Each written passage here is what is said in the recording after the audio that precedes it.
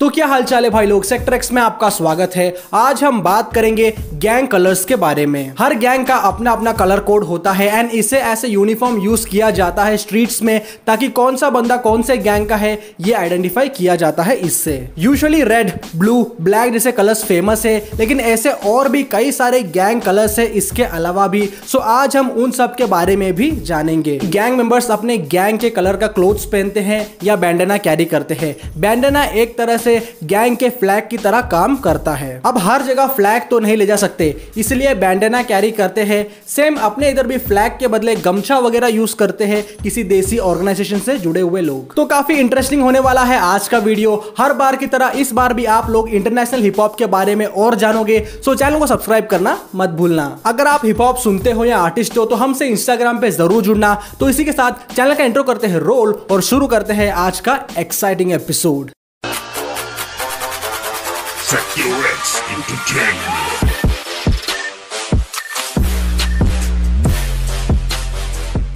Gangs जो colour से identify किए जाते हैं आजकल, ये सिलसिला बहुत पहले से चलता आ रहा है। 1600 ईस्वी में इंग्लैंड में कई सारे स्ट्रीट गैंग्स फॉर्म हुए थे और वहीं से ये बेसिक आइडिया आया था गैंग कलर्स का। और तब हर गैंग वाले अलग अलग कलर्स पहनते थे। एंड लेटर ऑन जब अमेरिका में ये गैंग्स वगैरह फॉर्म हुए तो ये गैंग ने अपना अपना कलर चूज़ किया। पहले सिर्फ़ एक ही कलर था गैंग्स में, और वो था ब्लू जो की क्रिप्स थे। एंड इस गैंग का जब बंटवारा हुआ तो सेंटिनल हाई स्कूल के जर्सी से ब्लड गैंग ने अपना कलर रेड चूज़ किया। और जब ब्लैक डिसाइपल्स फॉर्म हुए तो उन्होंने the great Black Panther Party से इंस्पायर होकर अपना कलर ब्लैक चूज़ किया। एंड यहीं से ये सिलसिला चलता गया। इवन जब हिप हॉप का एक्सिस्टेंस हुआ तो इवन गैंग रिलेटेड रैपर्स भी अपने गैंग के बैंडनास एंड क्लोथ्स वगैरह फ्लेक्स करने लगे थे। तो अब हम बात करते हैं हर गैंग के कलर्स के बारे में। तो सबसे पहले हम बात करते हैं रेड कलर के बारे में। ये कलर यूजुअली यूज़ करते हैं ब्लड गैंग के मेंबर्स और ब्लड गैंग में भी अलग अलग डिविजन है like mob Piru bloods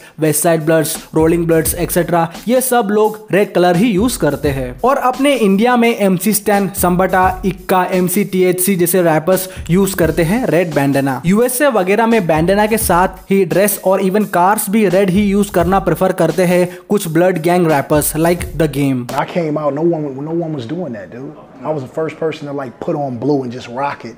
And I'm a blood, but what the fuck does that mean? I'm from a gang. Blood gang के अलावा रेड कलर और कौन कौन से गैंग्स यूज़ करते हैं ये अब देखते हैं पहला है नॉर्थेनोस ये एक स्पेनिश गैंग है ये कैलिफ़ोर्निया के नॉर्थन एरिया में रहते हैं इसलिए इन्हें नॉर्थेनोस बोला जाता है और इनके सबसे बड़े राइवल्स सुरेनोस है जो साउथर्न कैलिफ़ोर्निया से बिलोंग करते हैं और वो भी एक स्पेनिश लोगों का ही गैंग है फिर इसके बाद आते हैं फ्रेस्नो बुलडॉग्स ये सेंट्रल कैलिफ़ोर्निया के सबसे बड़े ड्रग गैंग है, जिसमें करीब थर्टी एक्टिव गैंग मेंबर्स है। इनका दबदबा स्ट्रीट्स और यूएसए के जेल्स में बहुत ज़्यादा है और one of the most dangerous looking gang members है इसमें। अब हम बात करते हैं ब्लू कलर के बारे में। जैसा हम जानते हैं ब्लू कलर क्रिप्स गैंग ज़्यादातर यूज़ करती है और यूएसए का पहला स्ट्रीट गैंग का दर्जा है क्रिप्स गैंग को और ये गैंग बहुत बड़ी और डेंजर है। और हम जानते ही है कि क्रिप्स के सबसे बड़े दुश्मन ब्लड्स है। रैप गेम में भी बहुत सारे क्रिप रैपर्स है starting from the godfather of gangster rap Eazy E then है Snoop Dogg Nipsey Hussle Blueface etcetera ऐसे कई सारे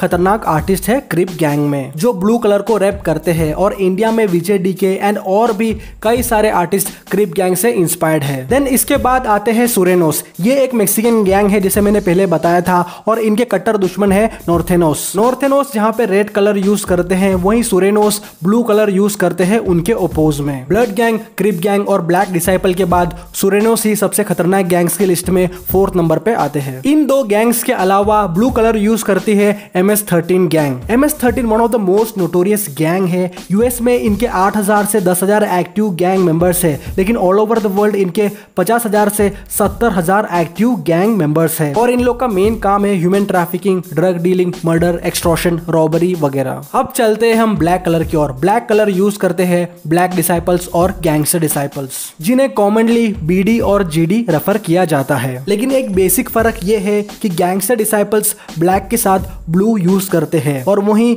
ब्लैक डिसाइपल्स ब्लैक के साथ व्हाइट यूज़ करते हैं। और ये दोनों गैंग भले ही ब्लैक कलर ऐसे बेसिक यूज़ करते हो, लेकिन एक दूसरे के कट्टर दुश्मन है। अब बात करते हैं हम येलो या गोल्ड कलर के बारे में। लैटिन किंग्स को प्रिसन गैंग भी कहा जाता है और इनके कई सारे मेंबर्स गैंग्स चलाते हैं जेल में ही। और इनके सबसे बड़े दुश्मन है क्रिप गैंग और एम एस थर्टीन वगैरह। उसके बाद येलो कलर या येलो बैंडना यूज़ करते हैं वाइस लॉट्स इनका मेन लोकेशन है शिकागो और यहीं पे गैंगस्टर डिसाइपल से इनकी कट्टर दुश्मनी भी चलती है। अब चलते हैं नेक्स्ट कलर की ओर जो है पिंक पिंक कलर वैसे यूज़ करते हैं गे बॉयज़ गैंगस्टर्स और ये एक एलजीबीटीक्यू गैंग है।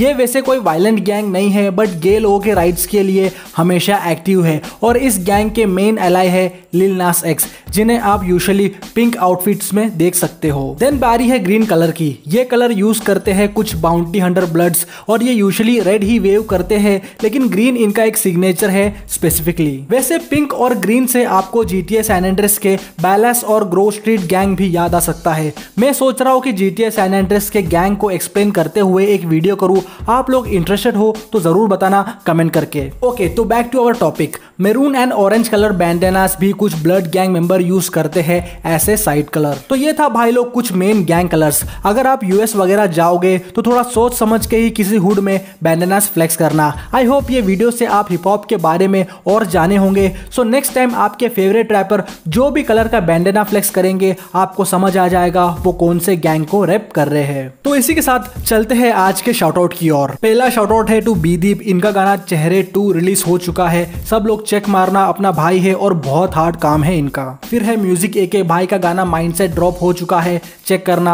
देन है कचकू, इनका गाना लास्ट कॉल सुनना ज़रूर। अब है रिजो, इनका गाना मेड इन नाइनटीज चेक मारना और भाई को सपोर्ट करना। And last but not the least है अपना छोटा भाई पी सिक्सटीन इनका गाना यूर ओनली सुनना ज़रूर। और इन सभी गानों का लिंक मैं डिस्क्रिप्शन में डाल दूँगा, आप लोग सपोर्ट ज़रूर करना और ऐसे ही आगे अंडरग्राउंड को पुश करते रहना। तो ये था भाई लोग आज का वीडियो अगर आप हिप हॉप सुनते हो या आर्टिस्ट हो तो हमसे इंस्टाग्राम पे ज़रूर जुड़ना। तो मिलते हैं अगले वीडियो में। तब तक के लिए अपना ख्याल रखना, अपने घर वालों का ख्याल रखना इंटरनेशनल आर्टिस्ट को सुनना और अपने लोकल आर्टिस्ट को सपोर्ट करना। बाय टेक केयर अपन भेज सकते हैं लाइक चालीस का एक बैंड देना चालीस का एक बैंड देना चालीस का एक, चालीस का एक।